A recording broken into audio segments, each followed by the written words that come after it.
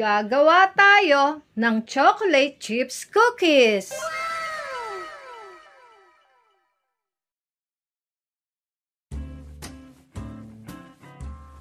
Ito ang ating mga kailangan. Butter, white sugar, brown sugar, egg, salt, vanilla, all-purpose flour, baking soda, and choco chips.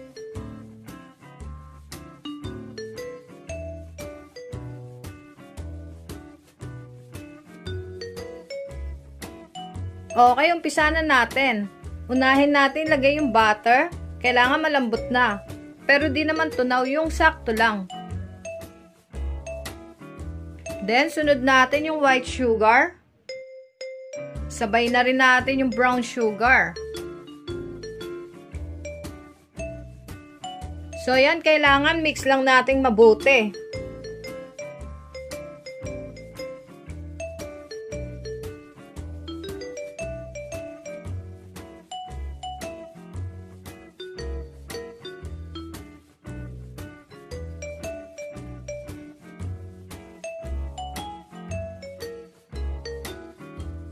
Lagay na natin yung vanilla.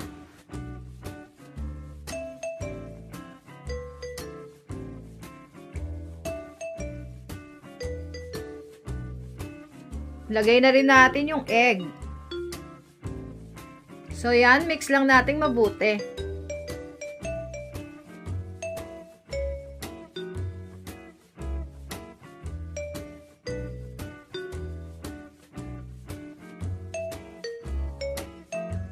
Okay, set aside muna natin. Next naman natin gawin yung dry ingredients. So, yan, salain lang natin yung ating all-purpose flour.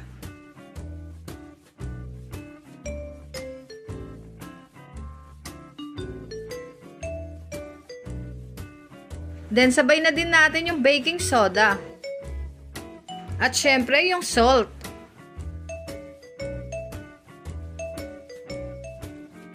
So, yan, combine na natin.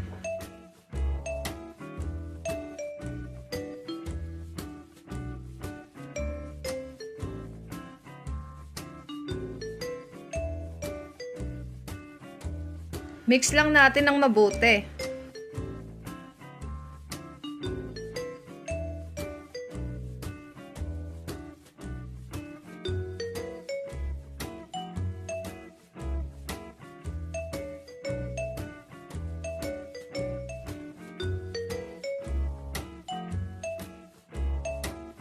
So, ayan, pag wala nang nakikitang all-purpose flour, pwede na natin ilagay yung ating chocolate chips.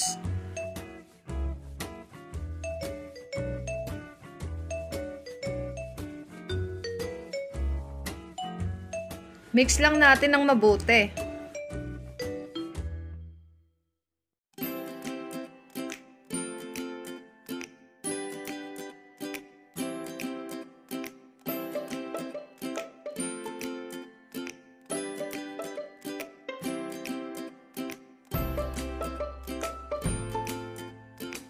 Okay, large ice cream scoop ang gamit ko para sa size na gagawin nating chocolate chips cookies.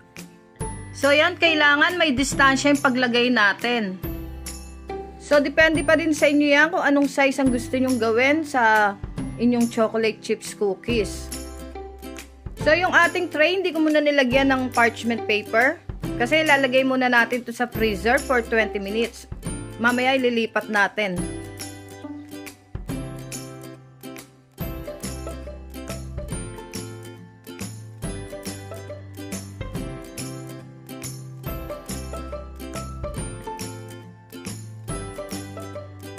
Bago natin ilagay sa freezer, maglalagay lang ako ng chocolate chips sa ibabaw. Ito ay optional lamang.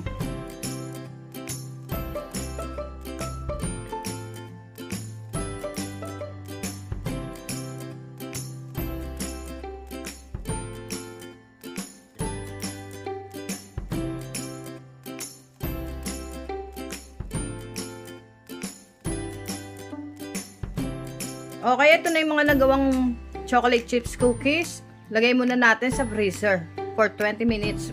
Maya-maya balikan natin. 20 minutes later. Yes, ito na yung ating cookies after 20 minutes galing freezer. Then, transfer na natin sa parchment paper.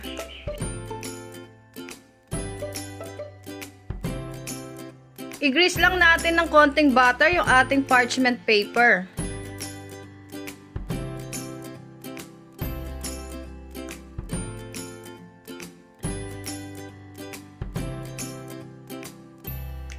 Okay, transfer na natin yung ating cookies. Yes, habang ginagawa ko to, naka-preheat na yung aking oven.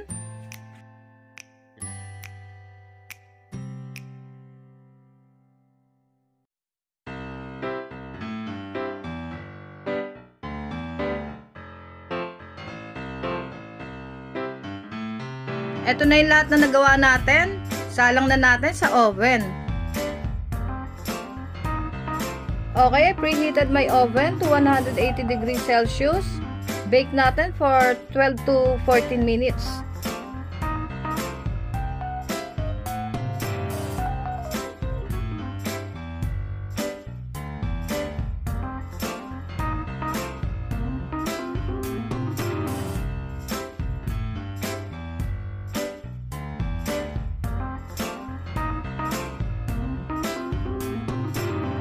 Few minutes later. So yan, after 13 minutes, luto na yung ating chocolate chips cookies.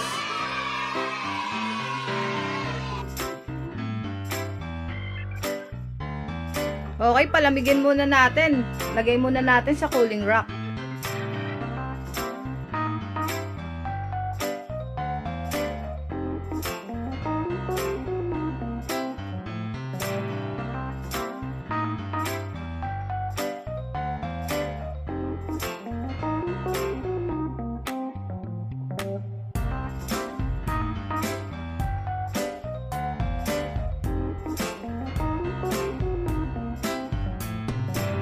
Yan guys, try natin yung ating chocolate chips cookies.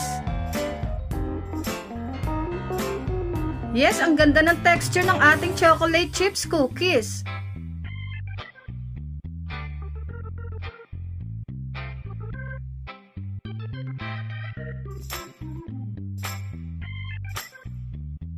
Ito na ang ating chocolate chips cookies. Kainan na!